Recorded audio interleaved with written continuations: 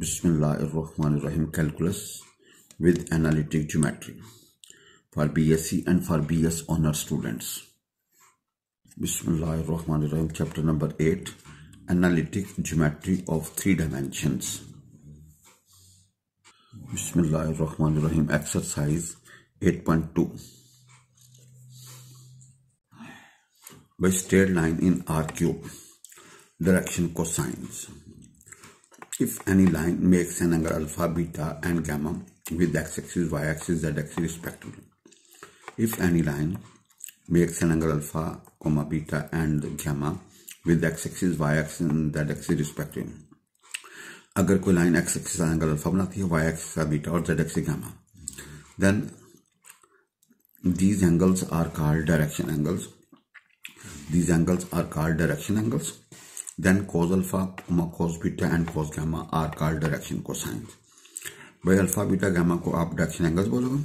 कोज alpha cos beta और cos gamma को आप क्या बोलोगे? Direction cosines sines are also denoted by L, M and N and have the property cos square alpha plus cos square beta plus cos square gamma is equal to 1 और L square plus M square plus N square is equal one कि direction cosine की पहचान जो होती है उनका square सम one के बराबर होगा।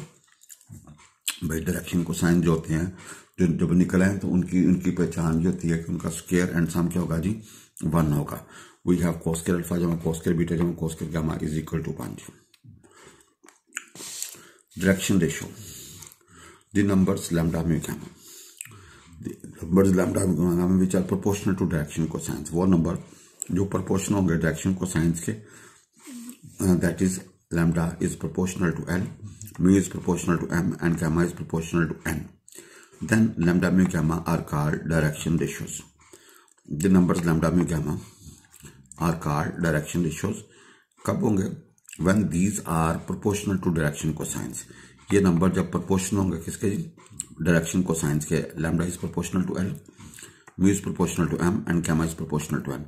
Then lambda mu gamma are called direction ratios.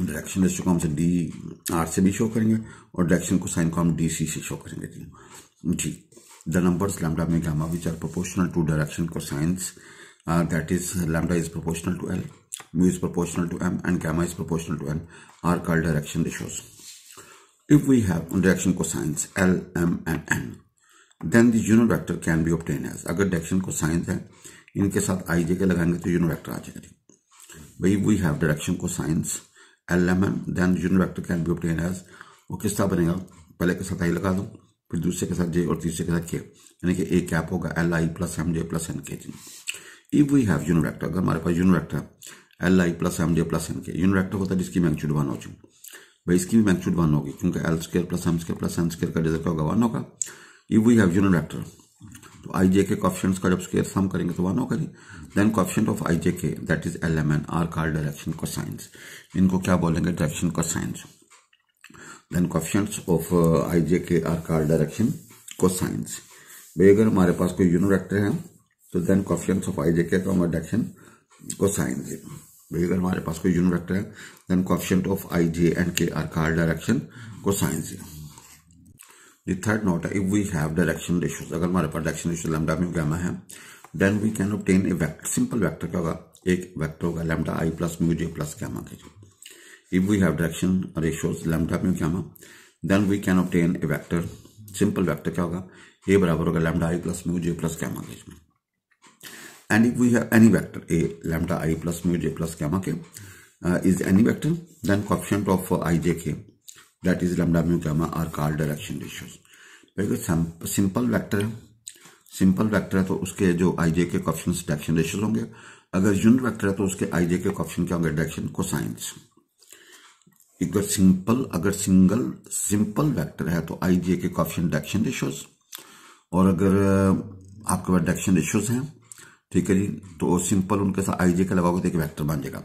If we have unit vector then question of I J K are called direction cosines और अगर आपके पास डायरेक्शन को साइंस है तो उनके साथ आई जे के लगाओगे तो यूनिट वेक्टर बन जाएगा जी। ना टॉपिक है equation of a straight line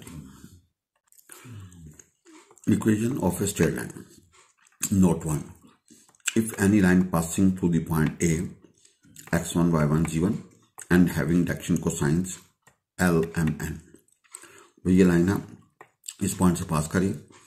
इसके डायरेक्शन को साइन क्या element then equation of line इस क्या होगा?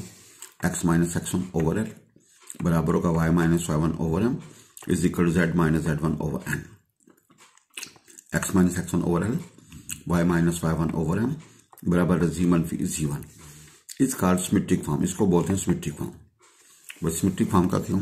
एक्स में से पहला कंपोनेंट निकाल दें। वाई में से दूसरा कंपोनेंट और जेड में से तीसरा component over L M N called symmetric form now it can also be written as X is equal to X one plus L T Y होगा Y one plus M T Z होगा Z one plus N T is called इसको भजन क्या बोलना है? Parametric form X बराबर होगा X one plus L T Y बराबर होगा Y one plus M T Z बराबर होगा Z one plus N T is called parametric form भाई देखें हमारे पास है एक्स वन फ़ी एक्स वन ओवर एल इसको हमने टी के बराबर रखा। एक्स वन फ़ी एक्स वन बराबर होगा एल टी का एक्स बराबर होगा X one plus L T यानी कि एक्स बराबर होगा X one plus L T Y बराबर होगा Y one plus M T and Z बराबर होगा Z one plus N T भाईजान एक्स वन फ़ी एक्स वन ओवर एल बराबर है वाई वन फ़ी Y one over M Z बराबर Z one फ़ी जी वन ओवर एन इसको बोलते हैं सिमेट्रिक फॉर्म और x बराबर होगा X one plus L T Y बराबर होगा Y one plus M T Z बराबर होगा Z one plus N T called parametric form note two if any line passing to the point A हमारे पास X one Y one Z one अगर एक line कहाँ से pass करेगी point X one Y one Z one से? भाई and having direction ratios lambda mu क्या then equation of the line क्या होगी जी?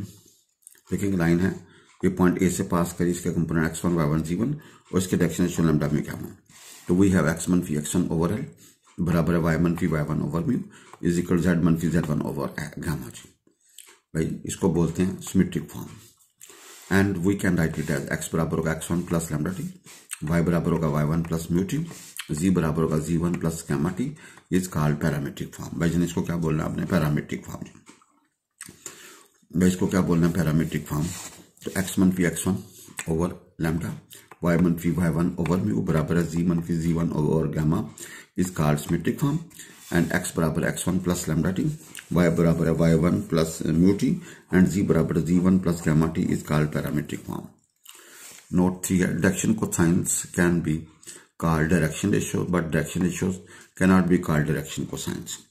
भाई डायरेक्शन को साइंस को आप डायरेक्शन रेशियो कह सकते हैं, लेकिन डायरेक्शन रेशियो को आप डायरेक्शन को साइन नहीं कह सकते जी। नोट है अगर एक लाइन दो पॉइंट से गुजरी ए का कंपोनेंट एंड बी का कंपोनेंट ए के component X one Y one Z one और बी का component X two Y two Z two then direction ratio पे बी क्या होगा? एक्स टू मनफी एक्स वन वाई टू मनफी Y one are Z two मनफी Z one भाई, अगर एक लाइन दो पॉइंट से गुजरे तो उसके डायरेक्शन रेशियो किससे निकलेंगे? फ़र्स्ट में से फ़र्स्ट निकालो।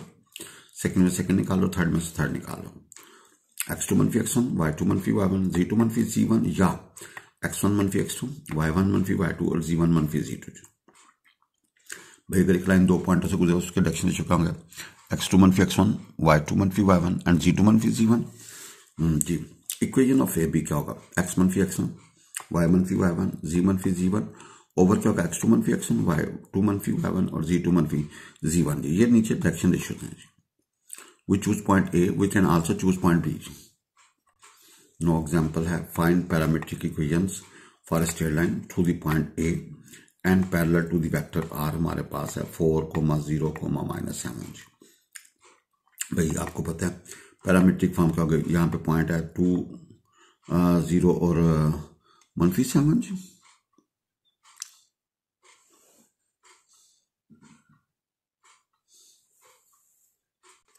parametric equation for a straight line through the point point हमारे पास है two zero minus seven and parallel to this vector इस वेक्टर के क्या है पैरेलल वे पॉइंट हमारे पास है टू ज़ीरो माइनस सेवन और है फोर ज़ीरो और माइनस सेवन कोई जो वैक्टर है ना तो आई जे के कॉफिशंट्स क्या होते हैं? Direction ratios no parametric equation होगी। X is equal to plus forty y बराबर होगा फोर वाई बराबर होगा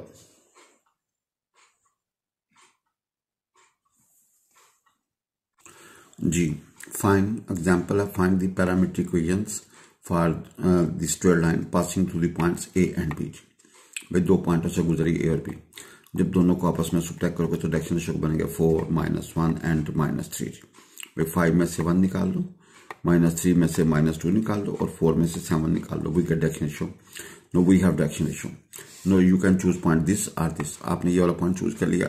पैरामीट्रिक इनका होगा x is equal to five plus forty y होगा minus three and minus t and z बराबर होगा four and minus three t t इसी तरह आप पॉइंट बी भी यूज़ कर सकते हो parametric passing to point B and having direction of four minus one and minus c x is equal one plus fourteen y is equal to minus two and minus t and z is equal seven minus three t t note hearing if two lines are parallel अगर two lines can भी parallel हैं then their direction ratio will be same or proportional भाई अगर दो लाइनें पर parallel हैं if दो डायरेक्शन रेशियो होंगे सेम होंगे या प्रोपोर्शनल होंगे जी भाई if two lines are parallel then the direction ratio will be same or proportional.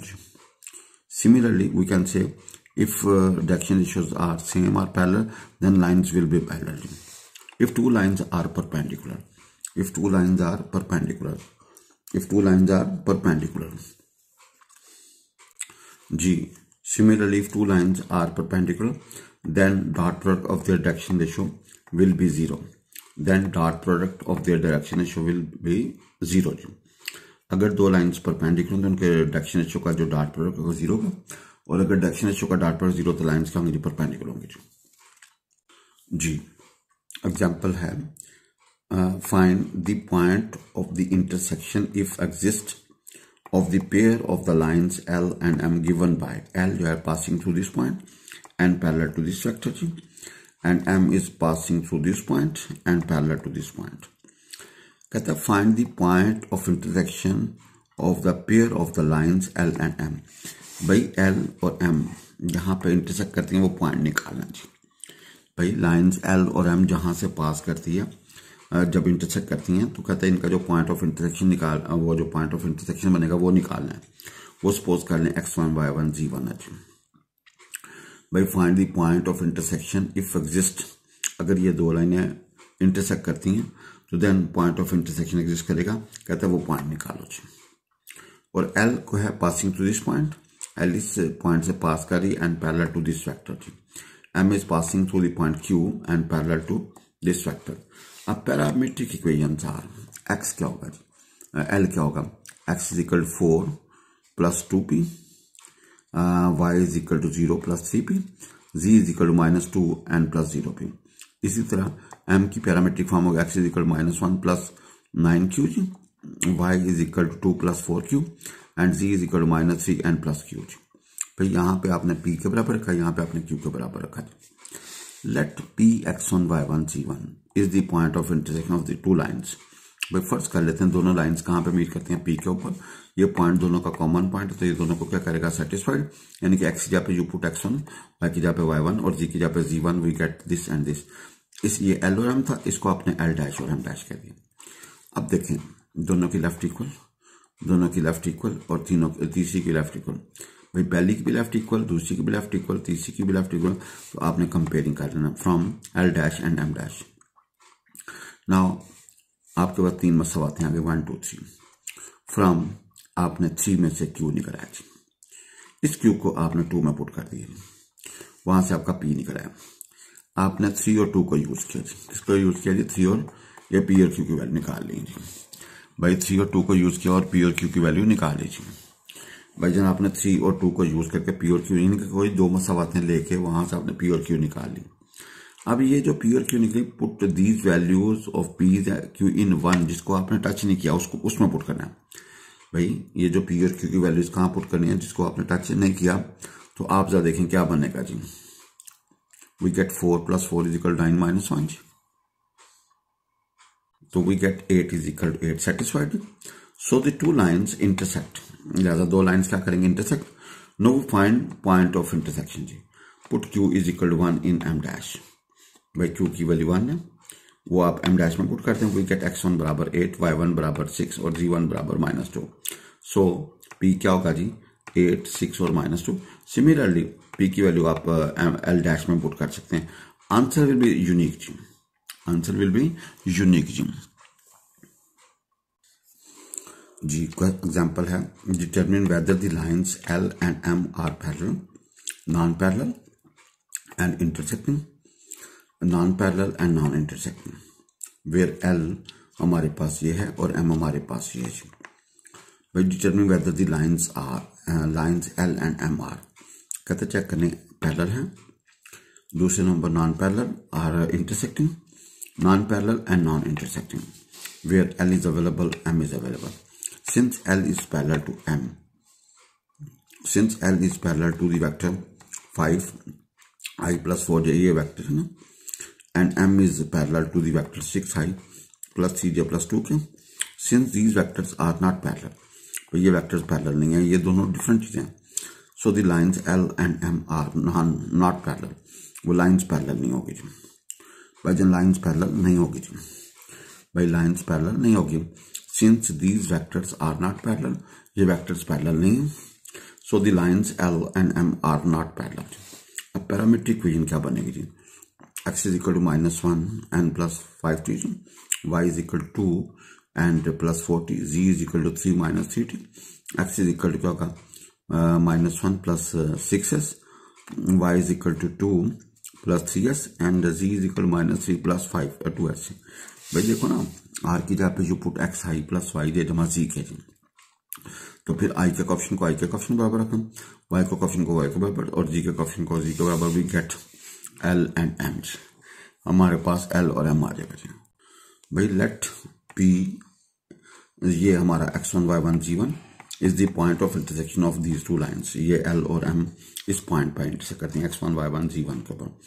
ये पॉइंट दोनों को सेटिस्फाई करेगा तो वी गेट एक्स की जगह पे एक्स वन वाई की जगह पे वाई वन एंड जी की जगह पे जी वन सो एल और एम क्या बन जाएगा? एल डैश और M dash no from L dash and M dash दोनों की लेफ़्ट इक्वल दोनों की लेफ़्ट इक्वल और तीसरी की लेफ़्ट इक्वल राइट भी इक्वल तो क्या होगा? ये तीन मसावत यहाँ पे now subtracting three from two जी आपने तीसरी और दूसरी दूसरी और तीसरी को हल किया। जब तीसरी और दूसरी को हल किया तो हमारे पास टी ये निकला और एस ये निकला जी। भाई, हमारे पास टी ये निकला और एस आपने दूसरी, तीसरी को हल करके टी और एस निकाल लिया इसको putting the values of t and s in one जी। भाई, इस वैल्यू कहाँ पुट करने? वन में, जी। भाई ये तीन आपने दूसरी तीसरी कॉल करके टी निकाला। इसको आप अब कोई दो ले लें आपकी मर्ज़ी है जी कोई इशू नहीं है जी। बस दो लेके उसमें से टी वैल्यू निकाली उसको उसमें पुट करें जिसको आपने टच भी नहीं किया जी। तो जब आप वन में पुट करेंगे तो वही c after calculation we get 73 over 17 uh, 73 over 17 और दूसरा 1 to 7 over 17 not satisfied so given lines are non not non parallel and non intersecting भाई लाइंस क्या होंगे जी? नॉन पैरल है पैरल नहीं है, और नॉन इंटरसेक्टिंग और भैया नॉन इंटरसेक्टिंग है। अगर ये सेटिस्फाइड हो जाता तो भैया वो फिर क्या करना था? इंटरसेक्शन करना था।